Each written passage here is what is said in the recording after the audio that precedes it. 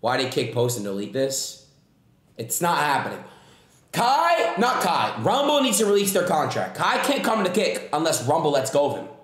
They signed him to a fucking deal. Hey, I don't know why you're laughing and shit with emotes. It's true. It's true. They locked him in. It's like guys, like when you're fucking a bitch and she like puts her her legs around you to make you nut in her. Like you know what I mean? Like it's the same thing that happened to him. Rumble put their legs around him. I love Kai though. We, we gotta do everything we can to make sure he comes. You know? Everyone's gotta come.